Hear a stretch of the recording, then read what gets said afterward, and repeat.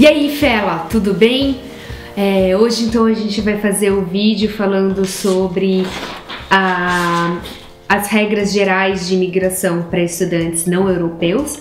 Mas antes de começar o vídeo, eu, a gente que eu sozinha, amor, você não vai vir mandar um abraço comigo? É, não estava preparado para gravar, né? Porque a Anne que estudou tudo aqui, né? Mas vamos aí, que a gente manda um abraço depois eu deixo a baixinha aí. Um baixinho respeito. Então, um abraço pro pessoal de Manaus, Manaus. Não, peraí, tem uma cidade, né? Maceió, Maceió. Alagoas, tá tudo aqui. Só. Tá. Então, vamos lá, mandar um abraço pro pessoal de Maceió, Manaus, Manaus, Alagoas. Alagoas. Você vai ficar repetindo após mim? Não.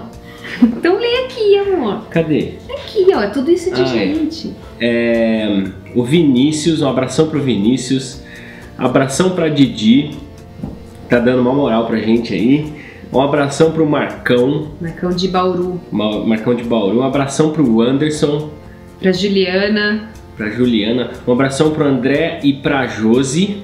Pro Patrick, E um abração pro Jefferson e pra Thalita. Thalita. Você quer abraço? Deixa nos comentários Tá também. ninguém? Tá faltando um monte de gente, Aqui, ó. amor. Ah, tá, tá tudo aqui.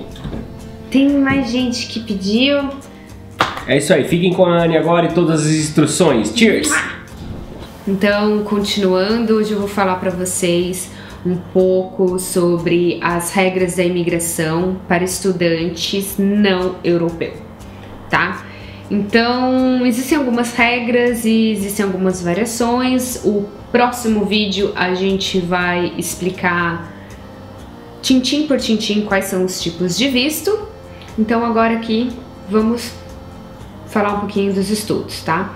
A partir de janeiro de 2011 foi colocado uma lei aqui na Irlanda onde os estudantes não europeus não eram mais permitidos, ah, não tinham mais o visto aqui como estudante se fosse para fazer curso part-time à distância pela internet. Então, tipo, ah, eu vou fazer um curso na Irlanda pela internet, vou ter direito a visto? Não, não vai. É, todos os estudantes que vêm para a Irlanda, não europeus, eles devem obrigatoriamente se registrar no escritório local de imigração. Então, teve até uma pessoa que perguntou assim para mim: Ah, mas é, eu vou para Galway e aí eu vou ter que viajar até Dublin para conseguir a minha imigração, o meu visto? Não, aqui em Galway tem escritório local, em Cork tem, em Waterford tem, em de- acho que acredito que cada condado tem o seu escritório local de imigração. Então, é se você vai para uma cidade assim, tá, Galway não é uma cidade grande, mas é uma cidade principal. Então, tem o escritório local aqui. É, é obrigatório você apresentar que você trouxe com você um valor de pelo menos 3 mil euros no seu primeiro registro. Quando você for renovar o visto, se você quiser renovar o visto para continuar aqui, então a partir do segundo registro você não precisa mais apresentar esses 3 mil euros, mas para o primeiro registro é obrigatório. Ah, a partir de janeiro de 2015 foram acrescentados mais algumas regras. Ah, teve agora, né, está tendo uma, uma maior inspeção e monitoramento dos, dos vistos de estudantes. Ah, restrições no período de trabalho, então continua valendo que o estudante não europeu aqui na Irlanda ele pode trabalhar part-time durante qualquer período do seu visto de um ano de estudos ou se prorrogar o visto, tudo bem. Mas para trabalho full-time, apenas nos período, no período que compreende entre os meses de maio e agosto, que seria o verão aqui. Apenas os cursos e escolas registrados pelo QQI, que é o Qualidade e Qualificação da Irlanda, Quality and Qualification of Ireland. Ah, então tá. Quais são as categorias então de estudos full-time? Você pode ter o programa de graduação, que aplica-se a todos os estudantes matriculados com nível ah, 7 ou maior de acordo com o Quadro Nacional de Qualificação, que é o NFQ. O que, que é esse NFQ? O NFQ é um sistema de nível que varia de 1 a 10 e que dá um valor acadêmico e profissional para as qualificações obtidas na Irlanda. E aí é onde entra o FETAC. O FETAC, que é o Further Education Training Award Certificate, ele é o que seria o NFQ de nível 1 até 6 e o HETAC, que é o Higher Education Training Award Certificate, que é para os cursos de é, mestrado e bacharelado e pós-bacharelado, que entra no, nos níveis de 8 a 10. Então vamos lá, quais são as categorias de estudos full-time? Uh, você tem os programas de graduação, que são todos os estudantes, aplica-se a todos os estudantes matriculados com curso uh, nível 7 ou maior, de acordo com o quadro nacional de qualificação. Esse quadro nacional de qualificação é um sistema de níveis que vai de 1 a 10 e esse sistema de níveis dá um valor acadêmico ou profissional para as qualificações obtidas na Irlanda. É isso que é o NFQ, um sistema de níveis que vai te dar um valor acadêmico ou profissional. E é dentro dele que você encontra o FETAC e o RETAC também tá? Então o FETAC, que a gente vê alguns cursos aí, ele tá dentro do nível 1 até o 6, e o RETAC tá do nível 8 a 10, que é onde entra mestrado, bacharelado e pós-graduação. Como funciona isso? Os níveis do NFQ, eles ajudam a indicar como uma concessão, uma concessão pode ser usada para treinamento, educação, trabalho, em termos de oportunidades e ele é considerado internacionalmente. Cada nível é baseado num acordo de padrão nacional sobre o que é esperado do aprendiz, do estudante saber e estar capacitado a fazer depois de receber a concessão. Essa concessão pode ser certificado, diploma ou outro. É, o, o quadro nacional de qualificação ele serve a vários propósitos. Vamos lá, enumerando eles. Ele assegura que a concessão obtida na Irlanda é de qualidade assegurada e reconhecida internacionalmente. Ele faz parte de um programa que compara concessões irlandesas com as concessões internacionais.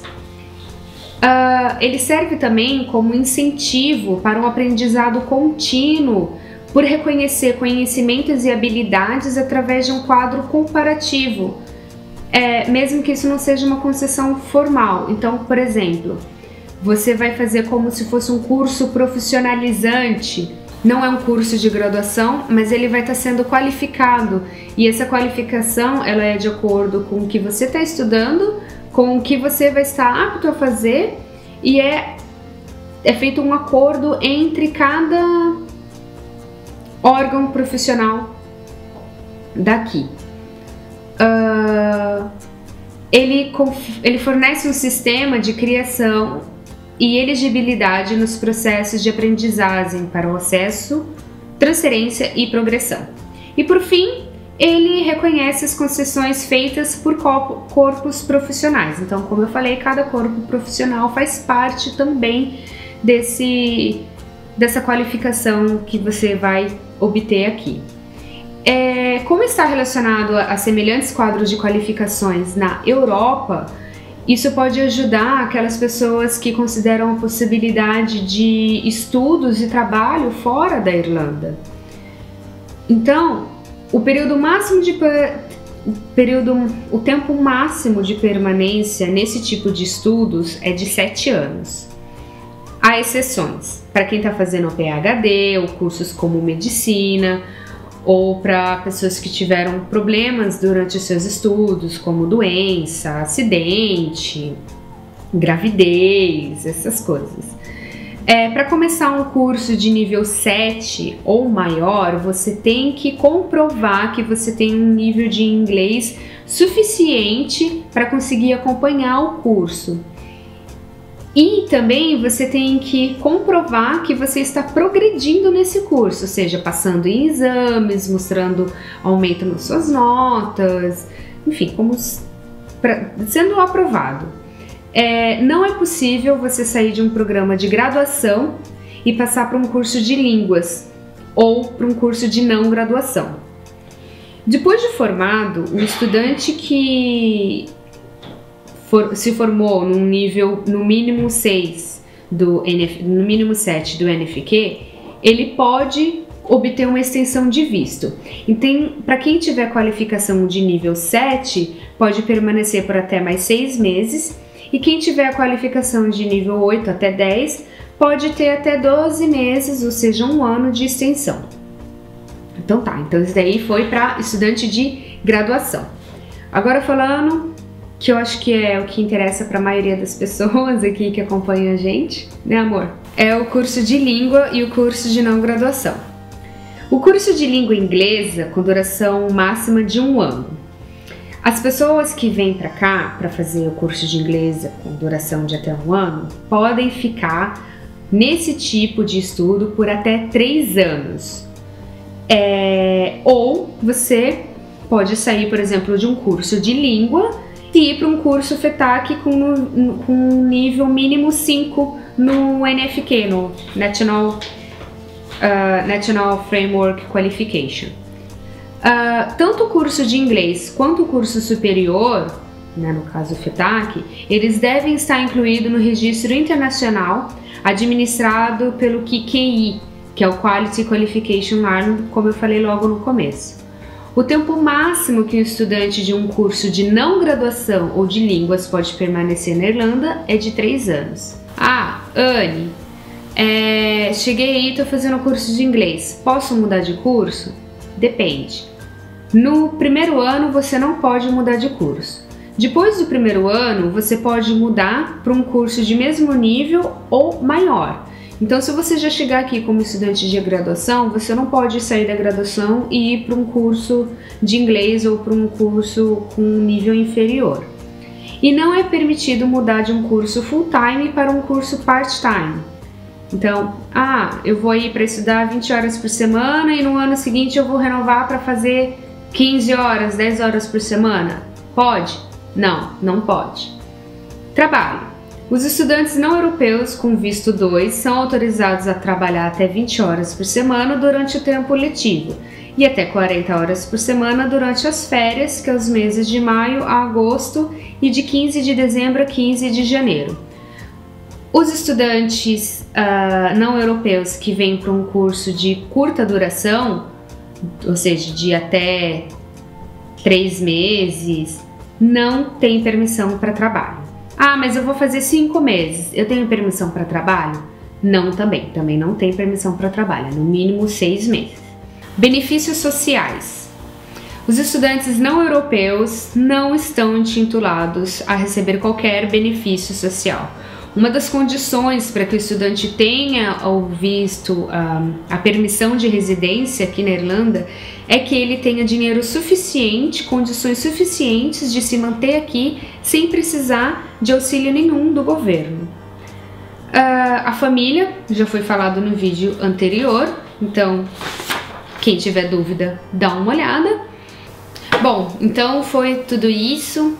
Uh, próximo vídeo antes de dar a sequência já direta assim para os tipos de visto, é, eu vou ter muita gente mandando umas perguntas assim e como não, não dá para fazer um vídeo só assim, porque são vários temas e são perguntas assim que têm sido é, é, é frequentes. Então eu recebi um e-mail hoje de uma pessoa que colocou muito bem colocado todas as perguntas, então a gente vai responder elas já na sequência, tá bom? Acompanha, gostou, deixa o like, compartilha, manda ideia, sugestão, quer abraço, deixa nos comentários e curte a nossa página no Facebook. E muito obrigada por todo o carinho por todo o pessoal que tem acompanhado a gente, você que está chegando, seja bem-vindo também. E Agradecer que já estamos nos 3 mil inscritos! Yeah! E vamos continuar crescendo. Você quer vir fazer intercâmbio na Irlanda, tá com dúvida, manda e-mail pra gente e fiquem ligados que em breve uma novidade bombástica que vai abalar. Até mais!